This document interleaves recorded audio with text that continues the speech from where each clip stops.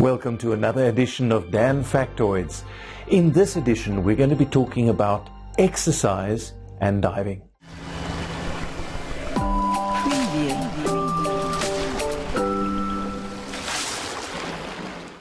We got an inquiry of one of our members who exercises regularly, and he wanted to know whether it would be possible for him to maintain an exercise routine. His routine usually involves 5 a.m. and 5 p.m. exercise, and how could he fit especially a deep dive because he's doing an advanced course, how could he fit that in in relation to diving? Now, I want to start by giving a broader framework and then narrowing it down. And the following is necessary to be said about exercise. What we know from the literature, in other words, from scientific documents so far, is that strenuous exercise 24 hours prior to a dive seems to be helpful in limiting the number of bubbles that are released and reducing the incidence of decompression illness. What we also know is that exercise immediately prior to a dive does not seem to be helpful and could be possibly harmful. We know that exercise at the bottom during a dive may increase the amount of inert gas that is absorbed and therefore also potentially increase the risk of decompression illness uh, following the dive. We then know that exercise during the decompression stops or the staged decompression is helpful at least mild or moderate exercise moving the arms and limbs because it releases bubbles while they are small due to the increased ambient pressure and it would not aggravate the ultimate outcome or increase the chances of exercise induced bubble formation uh, when it is hazardous. The question comes, or the question arises, what should we do after diving?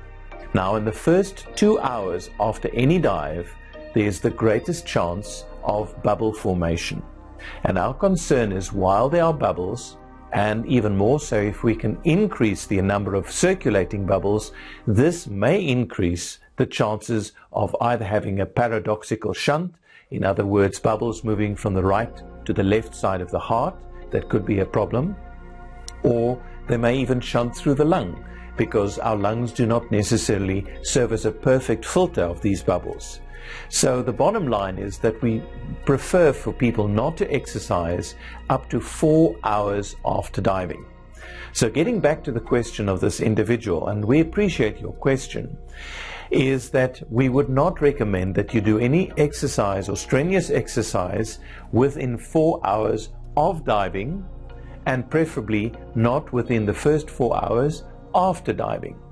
With those two provisos, it is unlikely that the exercise that you perform would have an appreciable effect on the number of bubbles that you produce or for whatever reasons, and there are many reasons that we don't understand, cause you to have an increase in risk, an overall risk of developing decompression sickness or decompression illness symptoms. The one thing that we must advise people who exercise, though, it's not uncommon to have exercise precipitated aches and pains. In other words, after you've been jogging or been exercising on a machine uh, in a gymnasium, it's quite common to have some areas of tenderness or even achiness.